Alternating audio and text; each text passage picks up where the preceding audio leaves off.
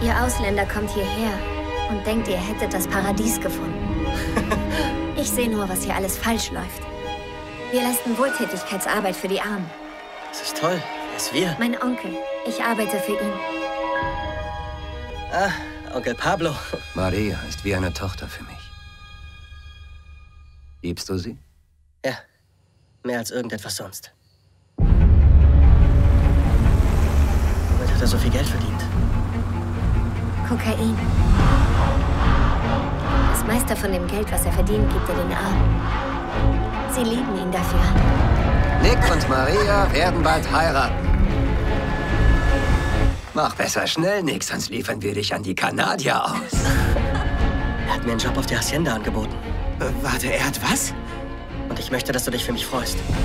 Wenn du irgendwas Seltsames siehst, kommst du zu mir. Kein Wort zu sonst jemandem. Alle lieben dich hier. Du bist ein Teil meiner Familie. Ich muss den Leuten vertrauen, die mir nahe sind. Verstehst du?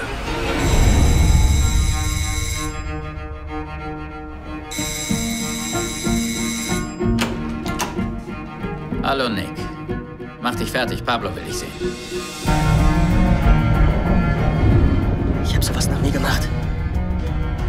Ist es das Scheißgeld wert? So zu werden wie Sie? Es wird alles gut für uns. Das weiß ich.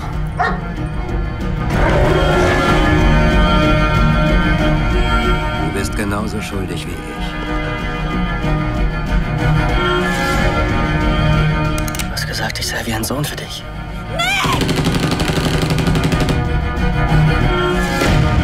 Nun, es gibt Naturgesetze.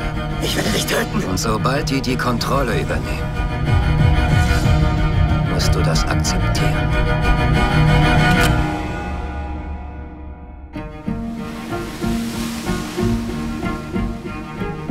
Niemand entkommt Pablo Escobar. Es wird Zeit. Beginnen wir mit Phase 2. Willkommen in der Brandwüste.